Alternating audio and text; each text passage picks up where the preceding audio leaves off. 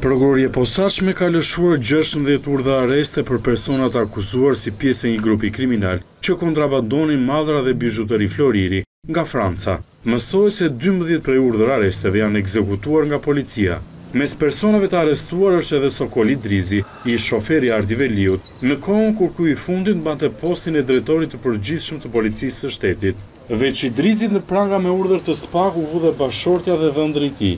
Ndërsa për dy vajzat e Idrizit, është caktuar në mungesë masa arrest në shtëpi për njërën dhe detyrim paraqitje për vajzën tjetër. Mes personave të prangosur, sipas burimeve, janë dhe tre ish-efektivë policie, si dhe një punonjës në detyrë në pikën e kufirit në portin e Durrësit. Personat e tjerë për të cilët u lëshuan urdhër arreste, janë shoferë kamionësh dhe tregtarë argjendarish. Hetimet për këtë grup kanë nisur rreth katër vite më parë nga Shërbimi për Çështjet e Brendshme dhe Ankesat. Më pas veprimet u ndoqën nga Prokuroria e Posaçme në bashkëpunim me autoritetet franceze, pasi sendet me vlerë silleshin në Shqipëri, siguroheshin kryesisht në Francë, vend ku jeton dhe një prej vajzave të Idrizit. Sipas hetimeve ka rezultuar se sendet me vlerë pasi hynin në vendin tonë, shiteshin në tregun e zi.